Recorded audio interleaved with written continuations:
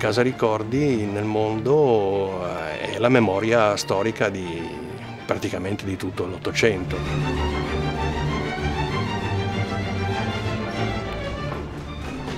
Ricordi's great period of looking after all the composers, it was a relationship that we don't really have today.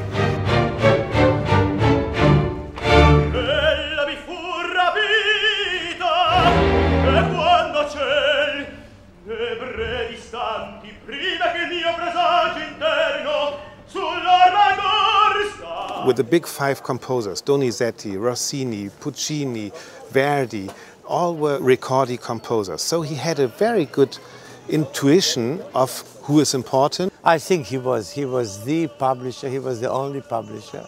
And any composer who thought of himself as a serious composer had to go to Ricordi.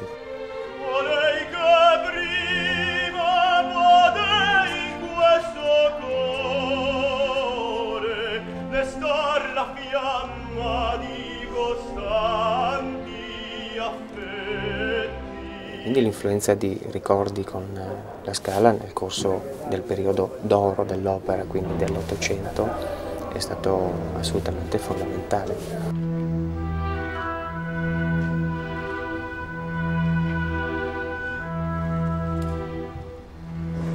The Ricordi Archive collects almost 8,000 autograph scores, then 15,000 autograph letters, 10,000 librettos, 10,000 iconographic documents.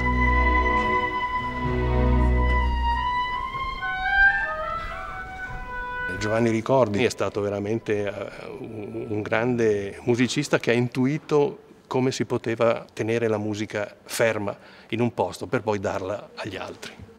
This whole box here is the whole handwrite of Falstaff. And if you as a conductor now see and know that Verdi wrote it by his own hand, is that emotional for you?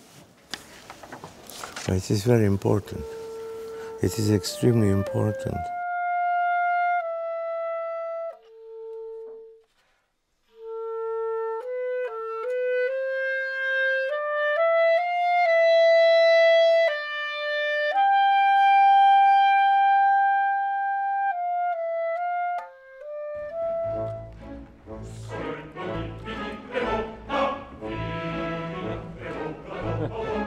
Das Archivio Ricordi ist ein wunderbarer äh, Kulturschatz.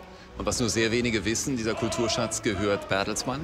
Wir sind darauf sehr stolz, aber natürlich verbindet sich damit auch eine Verpflichtung, nämlich die Verpflichtung, diesen Kulturschatz zu erhalten, ihn also zu restaurieren, in einem guten Zustand zu halten und so weit wie möglich auch der Öffentlichkeit zu präsentieren.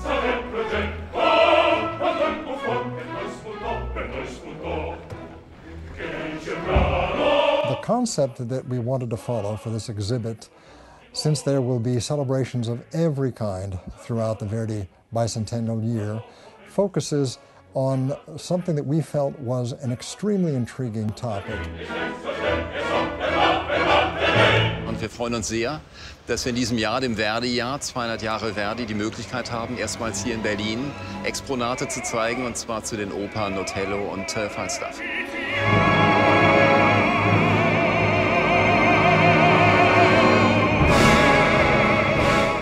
Credo insomma, che sia facile trovare una storia del genere, una storia dell'editoria musicale nel mondo.